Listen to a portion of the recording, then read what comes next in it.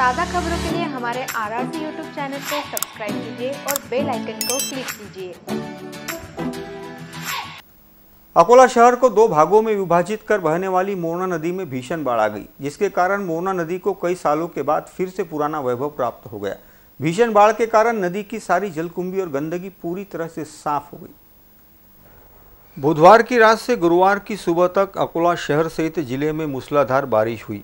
इस आफत की बारिश ने कहर बरपाया है।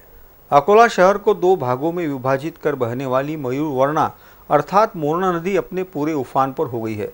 इस नदी में जलकुंभी ने अपना साम्राज्य स्थापित कर लिया था, जिसके कारण इस नदी को बड़े नाले का स्वरूप प्राप्त हो गया था। परंतु बुधवार की शाम से शहर सहित ज़िले में हुई मूसलाधार बारिश के कारण मोरना नदी में भीषण बाढ़ आ गई है, जिसके कारण इस नदी को अपना पुराना वैभव प्राप्त हो गया है।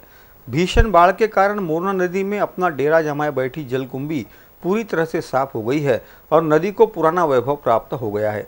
नदी का पात्र फिर से पानी से पूरी तरह से भर गया है। बुधवार की रात भर और गुरुवार की सुबह तक हुई तेज बारिश के कारण मोरना नदी पानी से लबालब हो गई है, जिसकी वजह से जिधर नज़र दौड़ाओ उधर तक मोरना नदी में पानी ही पानी नज़र आ रहा है। एक प्रकार से प्रकृति ने इस नदी की सारी गंदगी साफ़ कर दी है और फिर से एक बार नदी को अपना प्राकृतिक स्वरूप प्राप्त हो गया है। जो काम महानगर पालिका प्रशासन को करना चाहिए था, वह काम प्रकृति ने कर दिया है। मोरना नदी में भीषण बाढ़ आने के कारण गुरुवार की सुबह से ही नागरिकों ने नदी परिसर में भीड़ की थी। मोरना नदी से बाढ़ के कारण पूरी जलकुंभी बह गई है, जिसके कारण मोरना नदी का पात्र काफ़ी बड़ा और साफ़ दिखाई दे रहा है।